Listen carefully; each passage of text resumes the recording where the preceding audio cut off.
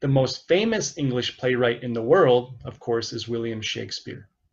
And he has had just as much influence on English literature as the Bible. Yet very little is known about his life. There's no record of the exact date of his birth, but there are records that he was born in Stratford upon Avon and was baptized there on April 26th. He was classically trained in grammar schools, and at the age of 18 he married Anne Hathaway. He had a daughter and twin sons, one who died at the age of 11. But nothing further is known until his rise to fame in London as an actor and playwright. Not much is known of his acting, but his skill as an actor appears in his writing, since he understood perfectly what stagecraft was all about. He wrote his plays for actors. He seemed to go to London at the right time to perfect his craft. He had the fortune to start writing during the reign of Queen Elizabeth I. Under her rule, London was the center of the kingdom, and the court was the center of power. The court was where all the power influence, and authority flowed. Thus, courtiers were the people with power. Courtiers were the ones who funded the arts. Through their money, theaters were built and acting companies sponsored. Through their interest, theater seats were filled. Most of the religious middle class despised the theater, thinking it a place of moral corruption. So the court system was the only way a writer could survive. This was all thanks to Elizabeth I's interest in the arts. Elizabeth was not only popular, but she also helped lead England out of the feudalism of the Middle Ages and into a more centralized England that had reached great prosperity. She had become the symbol of the new nationalism in England. She supported the theater, attended the dramas, and encouraged its growth. This also made her popular in court and among the commoners. In other words, Shakespeare lived in stable times thanks to Elizabeth's strong leadership. Thus, not surprisingly, Shakespeare's first major success as a playwright was through his history plays. All these plays show the upheaval surrounding a weak monarch. The glimmering hope in the background is a stable government with a monarch that could be unwavering and legitimate. Shakespeare started his writing career as a collaborator.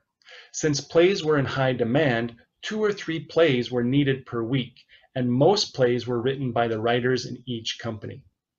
This led to many writers joining together to collaborate. Critics speculate that this was how Shakespeare started out. There is really no record of Shakespeare until 1598, when an important source on poets and dramatists at the time was published which is Francis Meres Wit's Treasury. Of Shakespeare he writes, as Plautus and Seneca are accounted the best for comedy and tragedy among the Latins, so Shakespeare among the English is the most excellent in both kinds for the stage.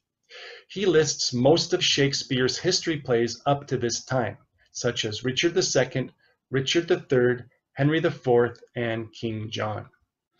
By the 1600s, Shakespeare turned to romantic comedies, such as As You Like It, Twelfth Night, and then finished his career with tragedies like Hamlet, Macbeth, and Othello. He apparently retired by 1610, where he focused on his romances and tragic comedies, like Cymbeline and The Winter's Tale. He then died in Stratford upon Avon in 1616. Over a 25 year period, Shakespeare apparently wrote 38 plays. None of his plays have been collected together as we have seen them today during his lifetime. It was not until 1623 that two men from Shakespeare's company published all his works together in what is called the First Folio. But this was full of errors and inaccuracies. Two more folios followed over a 40 year period but not until 1709 were his works seriously edited.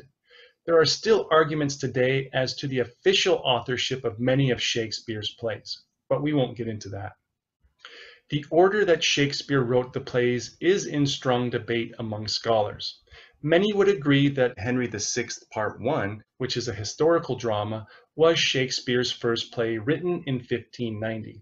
Critics still debate whether he wrote it alone or in collaboration with another writer.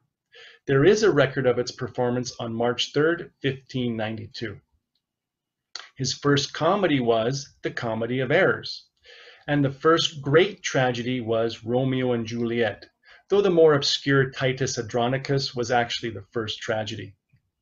His last play was Two Noble Kinsmen. It too is speculated to have been written in collaboration with someone else. This is the end of our discussion on Elizabethan drama. I hope it was informative for you, and we will take a break and return with a lesson on William Shakespeare's great revenge drama, Hamlet. I hope to see you soon. Bye.